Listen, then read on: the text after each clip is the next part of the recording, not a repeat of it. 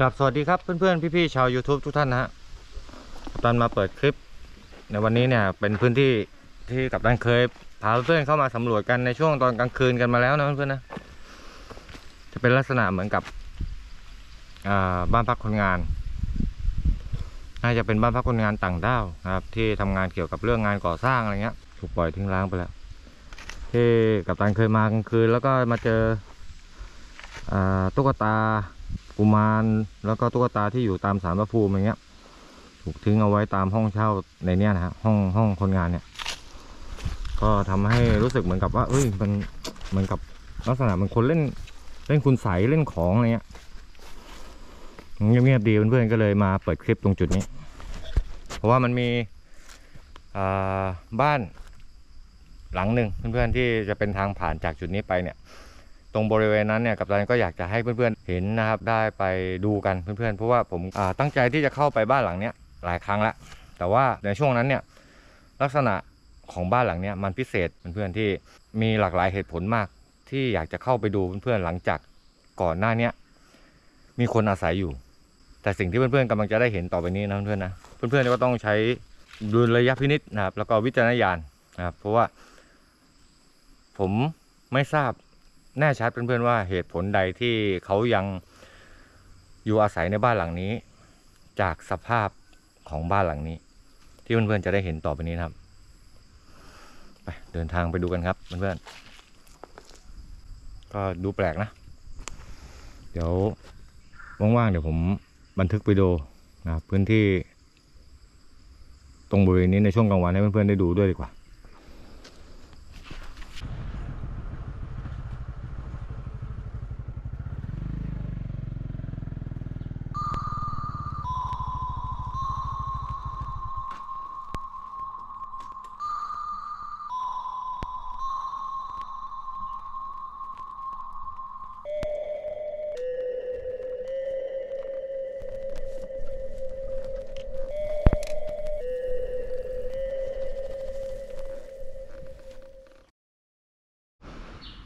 คครับเพื่อนๆก็มาถึงตรงจุดบ้านที่ว่าผมอยากจะให้เพื่อนๆได้เห็นแล้วนะเดี๋ยวผมพาเพื่อนๆเข้าไปดูครับ แต่ว่าขอขอเดินไปดูรอบๆก่อน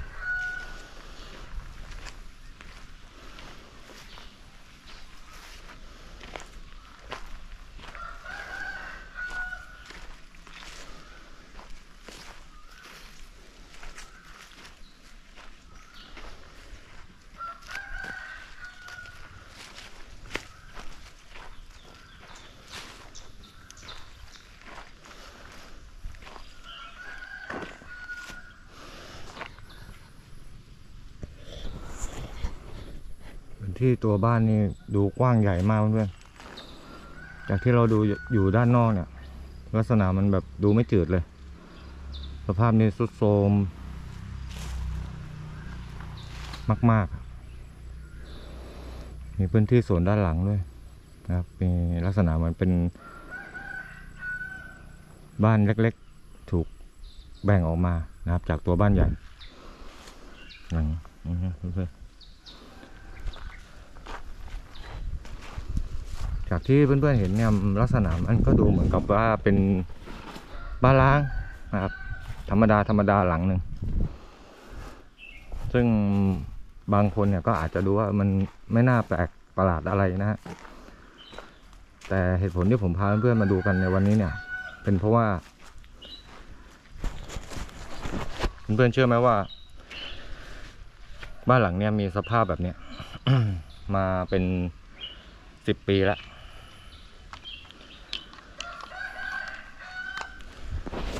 แล้วจากช่วงที่โควิดเนี่ยจะเข้ามา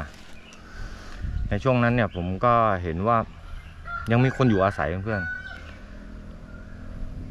มีคนที่เข้ามาอยู่อาศัย ผมไม่รู้นะว่าเป็นลักษณะของคนไร้บ้านหรือเปล่าเพื่อนๆหรือว่าคนที่เป็นคน เป็นคนที่ว่าไม่มีอะเป็นคนที่คนจนๆอะไรเงี้ยเข้ามาอยู่อาศัย แต่ด้วยผมเนี่ยก็พยายามสอบถามข้อมูลนะครับหาข้อมูลต่าง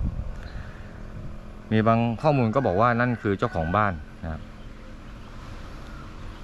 แต่แกสติไม่ค่อยดีอะไรอย่างเงี้ยครับ บางบางแหล่งข่าวเนี่ยก็บอกว่าบ้านหลังเนี้ยถูกไฟไหม้มาก่อน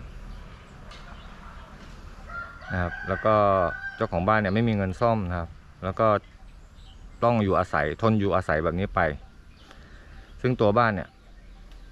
มันก็สุดโทมอยู่ในลักษณะแบบนี้เพื่อนๆ มันนานมากแล้ว เดี๋ยวเราไปดูด้านในกันเพื่อนๆ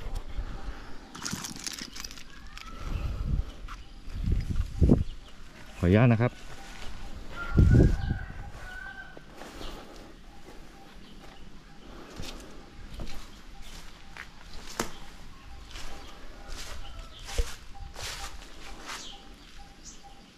เนี่ยยังมีร่องรอย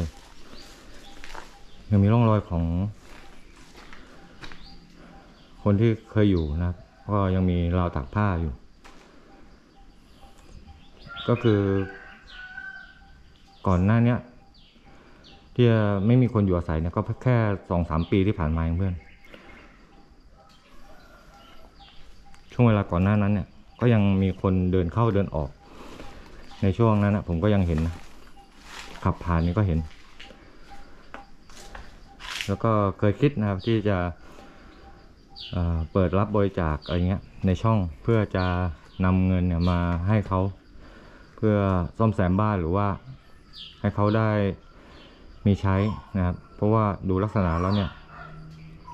น่าจะเหมือนกับเป็นคนไร้บ้านจริงๆอะที่มาอาศัยอยู่แต่ผมก็พยายามที่จะไม่ไม่ไม่เรียรายเงินบริจาคนะเพื่อนๆนะ ราะกลัวโดนกระแสอะไรหลายๆอย่าง ก็พยายามติดต่อสอบถามครับแล้วก็พอช่วงโควิดเนี่ยก็ไม่ค่อยได้มีเวลาผ่านมาทางนี้สักเท่าไหร่เพื่อนๆพอหลังจากนั้นไม่นานเนี่ย ก็เขาได้ย้ายออกไป หรือว่าหายไปนะเพื่อนๆนะไม่ได้อยู่ที่นี่อีกแล้ว ก็อยากจะให้เพื่อนๆดูว่าในลักษณะลักษณะของบ้านแบบเนี้ย ก่อนหน้านี้มีคนอยู่อาศัยเนี่ยเขาอยู่ไปได้ยังไงเพื่อนๆ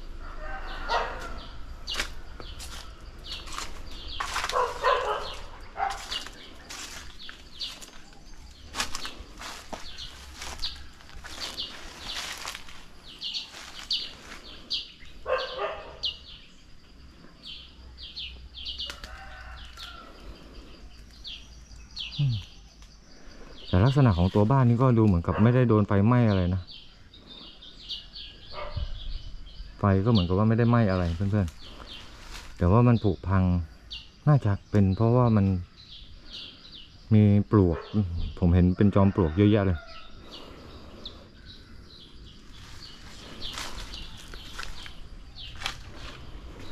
แล้วก็พื้นไม้อะไรต่างๆเนี่ยมันก็ผุพังมากๆด้วย การอยู่อาศัยที่นี่เนี่ยมันก็เหมือนว่าเป็นการเสี่ยงนะที่จะไม่รู้ว่ามันจะพังถล่มลงมาเมื่อไหร่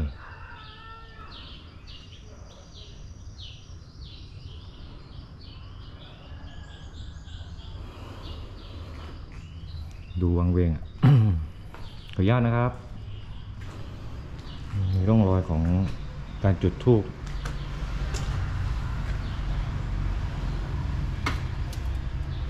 ให้ผมต้องใส่หมวกกันน็อกไว้เพื่อนๆที่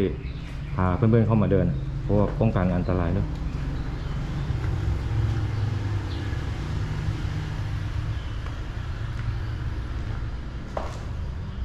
สวัสดีครับ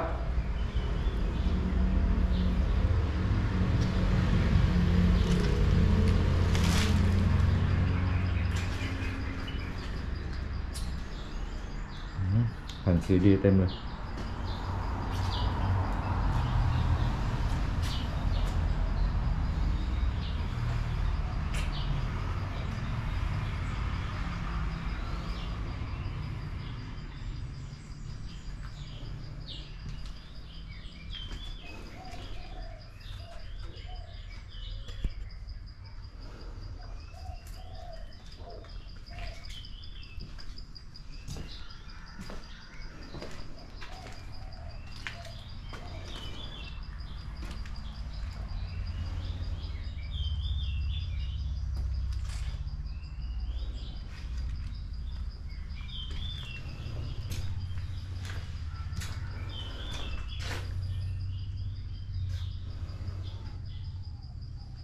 แสดงว่าตรงนี้เคยเป็นเขตห่วงห้าม ของบ้านหลังนี้มาก่อนเพื่อนเพราะว่าถูกติดป้ายเอาไว้ด้วย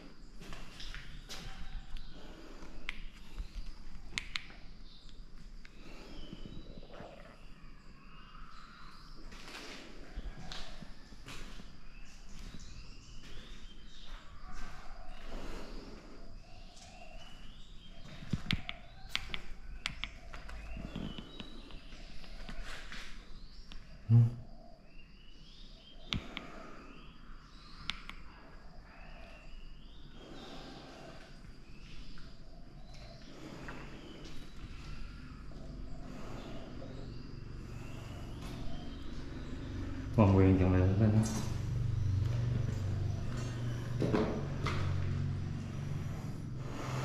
อืมกลิ่นอับ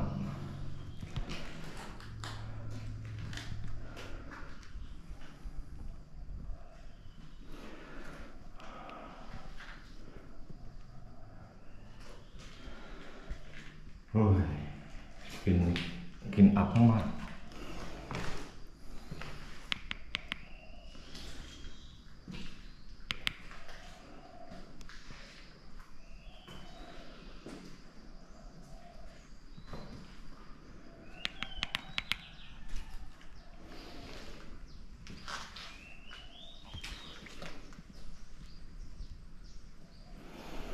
บ้านมีชั้นสองนะเพื่อนๆ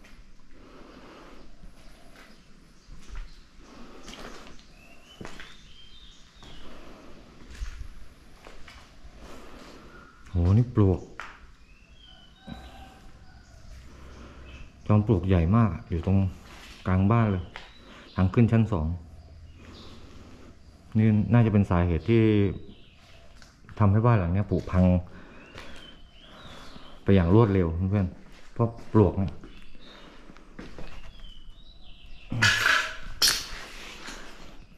ขอไปครับ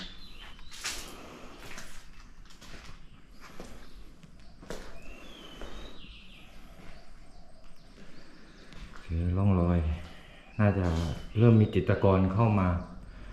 ในบ้านหลังนี้บ้างแล้วก็ได้เพื่อนๆ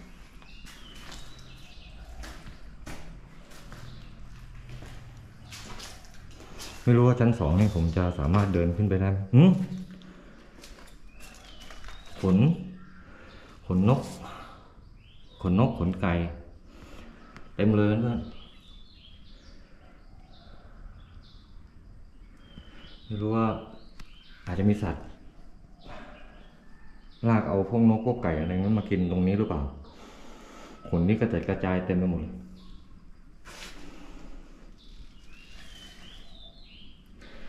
ถุงนี้ก็มีลักษณะเหมือนเปื้อนเลือดนะครับอยู่เล็กน้อยเพื่อน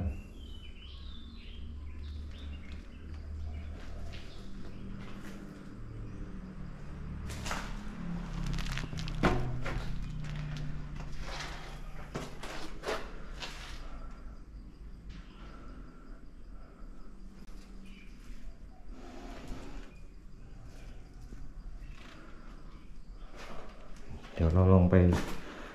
เดินขึ้นไปข้างบนดู ตรงนี้น่าจะเป็นห้องครัวนะเพื่อนนะ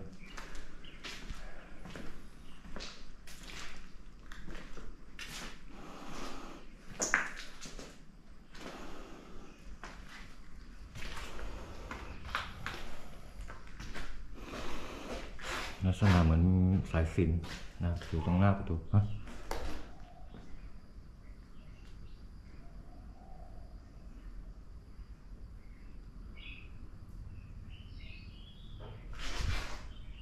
เฮ้ย เสียงเหมือนกับเป็น ฝีเท้าเพื่อนๆ ผมพยายามเงียหูฟัง ไม่รู้ว่าผมได้ยินอยู่คนเดียวหรือว่ามันเข้าไปในกล้องด้วยนะเพื่อนๆนะ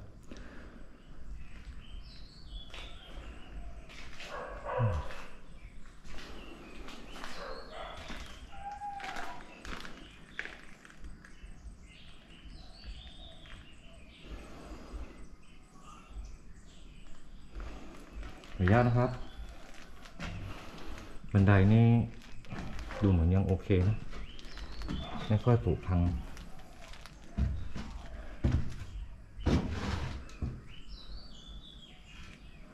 แต่ข้างบนนี่ผมไม่แน่ใจเพื่อน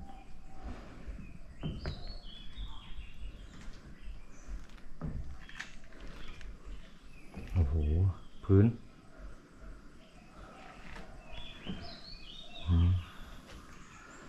ผม คิดว่าผมไม่ขึ้นไป ข้างบนนั้นดีกว่านะดูจากสภาพพื้นแล้วนี่อันตรายมาก มีลักษณะเหมือนกับว่าข้างบนเนี่ยไม่มีคนอยู่อาศัยเลยนะครับ เหมือนกับ ไม่มีใครกล้าขึ้นมาอยู่แล้วร่องรอยเหมือนกับว่าถูกปล่อยทิ้งเอาไว้นานมากแล้ว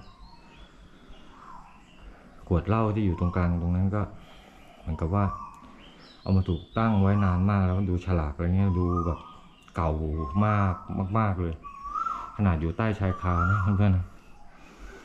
สีอะไรจืดชืดหมดแล้ว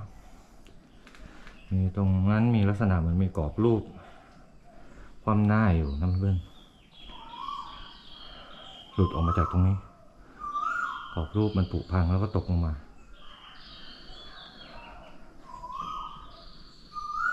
อึดอัดอะหายใจไม่ค่อยออก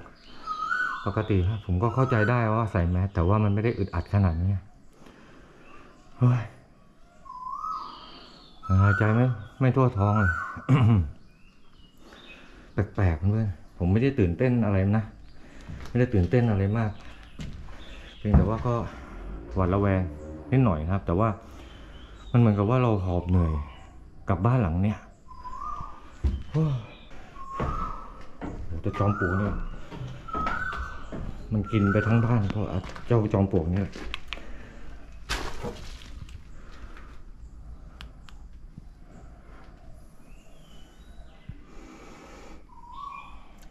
คิดว่าน่าจะยังมี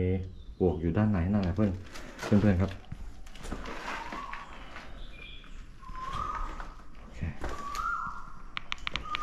ก็ขอฝากเพื่อนๆนะครับ ว่าหากเพื่อนๆเนี่ย คิดว่าน่าจะเคยอาศัยอยู่บ้านแบบนี้นะครับ แล้วก็